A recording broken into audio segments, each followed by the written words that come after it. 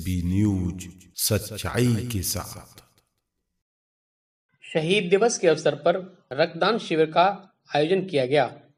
मैनपुरी में आगरा रोड स्थित lord Krishna educational school में शहीद दिवस के अवसर पर रक्तदान शिविर का आयोजन रामरेश अग्नोत्री मुख्य अतिथि कैबिनेट मंत्री, उत्तर प्रदेश सरकार ने माँ सरस्वती के चित्र पर दीप प्रज्वलित कर माल्यार्पण करते हुए कार्यक्रम शुभारंभ किया।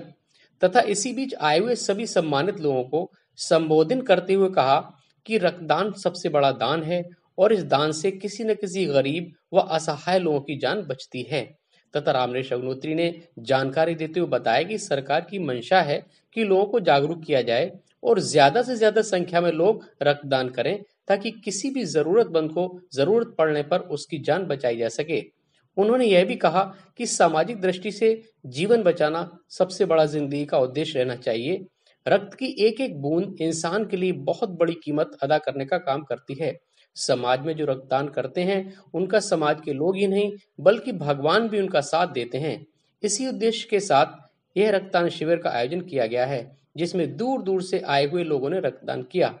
इसी बीच कार्यक्रम के आयोजक डॉक्टर राकेश गुप्ता ने जानकारी दी कि रामनेश अग्नोत्री कैबिनेट मंत्री आज रक्तदान करने वाले व्यक्तियों के से मिले और उनसे पूछा कि इस समय वे कैसा महसूस कर रहे हैं। तथा महिलाओं के लिए कहा कि आज देश और प्रदेश की सरकार महिलाओं को आगे बढ़ाने का कार्य कर रही है जिसके लिए जनपद में जगह जगह महिला सशक्तिकरण के कार्यक्रम आयोजित किए जा रहे हैं। आइए जानते हैं कि इस अवसर पर और क्या कुछ कहा गया। सर आज एक कैंप का आयोजन किया गया है। क्या पूरा कार्यक्रम था और जनता में क्या संदेश रखा गया? ये कार्यक्रम जो है वो medical national integrated medical association की ओर से किया गया है। ये कार्यक्रम सेंट्रल नीमा की ओर से और इसमें विभिन्न संस्थाओं का भी सहयोग रहा। और ये ऑल ओवर इंडिया ये कार्यक्रम निर्धारित किया गया। और जिसमें लक्ष्य रखा गया कि हम लोग विभिन्न लोगों के सहयोग से एक दिन में, तेईस मार्च जिस दिन शहीद दिवस होता है, उस दिन ये आयोजन रखा जाएगा रक्त महादान शिविर का। और उसमें टारगेट रखा गया कि एक लाख तीस हज़ार यूनिट हम लोग रक्त महादान करवाएँगे।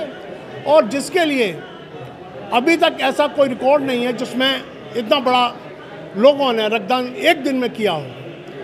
तो उम्मीद ये है कि ये महादान शिविर हमारा एक विश्व रिकॉर्ड स्थापित करेगा।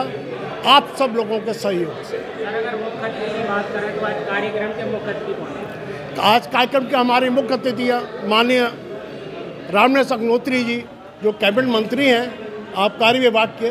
उनके द्वारा आज का इस कैंप का उद्घाटन किया गया और हमारे सीएमओ साहब इस कार्यक्रम की अध्यक्षता की है। सर आज एक शहीद दिवस के अवसर पर कार्यक्रम आयोजित किया गया क्या कार्यक्रम था और सर जनता के बीच क्या संदेश जाएगा सर इसका?